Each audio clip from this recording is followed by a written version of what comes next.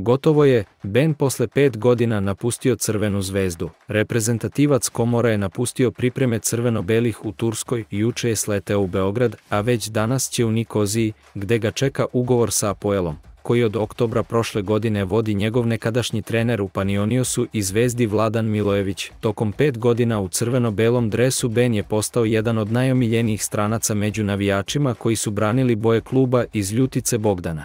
Za još sadržaja iz našeg futbala pretplati se na kanal i baci like.